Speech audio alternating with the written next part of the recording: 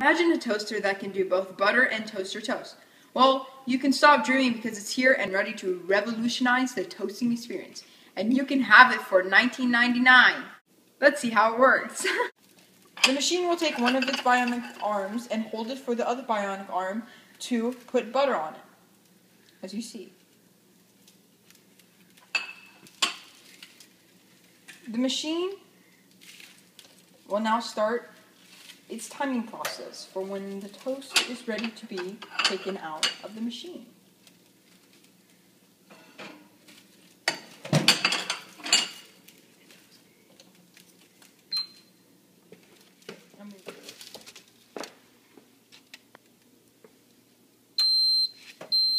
Okay, the toast is now done. Now the bionic arms will take the piece of toast out of the toaster.